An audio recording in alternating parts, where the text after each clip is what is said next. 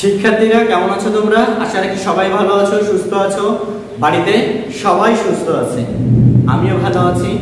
আরও একবার আমার ধারাবাহিক আলোচনা পদার্থ বিজ্ঞান পঞ্চম অধ্যায় থেকে চাপ নিয়ে আলোচনা শুরু করেছিলাম।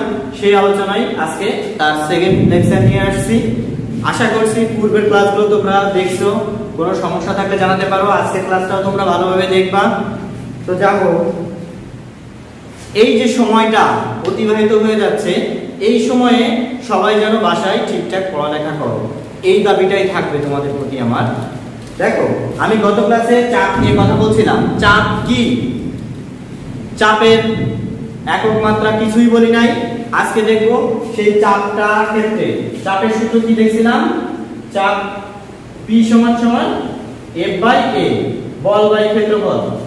এখন যদি প্রথমত দেখি যে চাপের এককটা আসলে কি? চাপের একক, দেখো, বলের একক কি জানি? নিউটন। ক্ষেত্রফলের একক কি জানি? Metre square.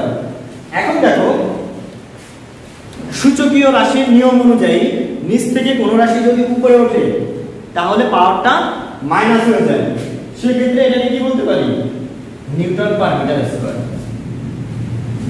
এই যে নিউটন পার মিটার স্কয়ার, এইটাকে চাপের একক বলা হয় না। বলা হয় চাপের একক পিএ যেটাকে বাংলায় বলা হয় প্যাসকেল। তাহলে চাপের একক কি? Pascal. Newton per metre square. Newton per metre square. সেক্ষেত্রে আসতেছে চাপের একক প্যাসকেল। এখন যদি দেখি যে এই যে প্যাসকেল বা চাপের একক, কাকে বলে? এক প্যাসকেল কি? এক প্যাসকেল কাকে বলে? বলতে পারি কোন বস্তুর এক মিটার স্কয়ার ক্ষেত্রফলের উপর এক নিউটন বল প্রয়োগে যে চাপের সৃষ্টি হয়, যে চাপের সৃষ্টি হয় তাকে এক প্যাসকেল বলে। তাহলে আমি কি বলছি? লক্ষ্য করো যে কোন বস্তুর এক মিটার স্কয়ার ক্ষেত্রফলের উপর যদি এক নিউটন বল প্রয়োগ করা হয়, তবেই তাকে আমরা কি বলব? এক প্যাসকেল বলব। তাহলে চাপের একক কি জানো? প্যাসকেল যেটা আমার সূত্র থেকে বা চাপের যে সংজ্ঞা অনুযায়ী আসে কি? নিউটন মিটার স্কয়ার যেটাকে সংক্ষেপে আমরা কি বলি? প্যাসকেল বলি। এখন দেখব চাপের মাত্রা। তো আমি বলছিলাম, সবকিছু ভেঙে ভেঙে বের করার চেষ্টা করো। চাপের একক। বল বাই ক্ষেত্রফল তাই না? তো বলকে আমরা কি লিখতে পারি? দেখো তো। এম এ নিউটনের দ্বিতীয় সূত্র। সাইন অফ দিয়ে দিলাম কি? এফ সমান সমান এম এ এখন এম মৌলিক রাশি এ সমান সমান আমরা কি জানি? ভি বাই টি আর ক্ষেত্রফল দৈর্ঘ্য স্কয়ার তারপরে দিয়ে দিলাম এল স্কয়ার তাহলে এখানে কি? এ সমান সমান ভি বাই টি এখন দেখো, আবার ভি সমান কি জানি আমরা? ভি সমান এস বাই টি কারণ ত্বরণটা হলো বেগের পরিবর্তন, আর বেগটা হলো সরণের পরিবর্তন। সেই ক্ষেত্রে আমার আসতেছে এখানে S by T into T মানে টি স্কয়ার আর আছে এল স্কয়ার ক্ষেত্রফল থেকে আসছে। সাইন কি? ভি সমান সমান এস বাই টি। এখন দেখো, যদি এখানে আমি সবগুলোর মাত্রা বসাই, সেই মাত্রা কি আসতেছে? ভরের মাত্রা এম সরের মাত্রা এল সময়ের মাত্রা টি স্কয়ার, দৈর্ঘ্যের মাত্রা এল তার স্কয়ার। এখন সূচকের নিয়মে আবার ঠিক নিচ থেকে উপরে ওঠে। নিচ থেকে উপরে উঠলে কি দাঁড়াচ্ছে? এটা M L inverse 1 T inverse 2 কেন? কারণ দেখো, এই এল আর এল স্কয়ার কাটাকাটি করলে নিচে একটা এল থাকে। তো নিচের এলটা উপরে উঠলে এল ইনভার্স হয়ে যায়।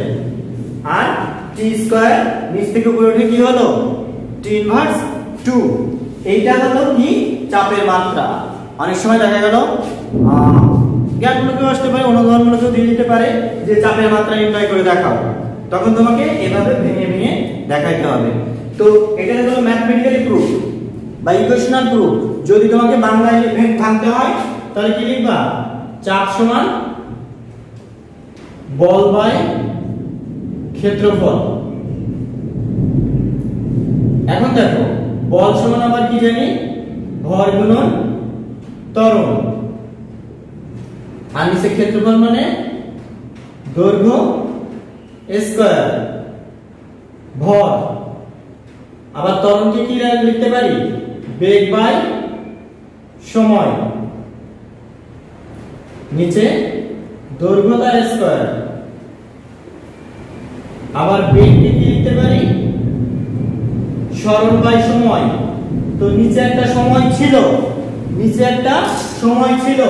তাহলে দুইটা সরণ। বাই সময়ের স্কয়ার গুণন দৈর্ঘ্যের স্কয়ার।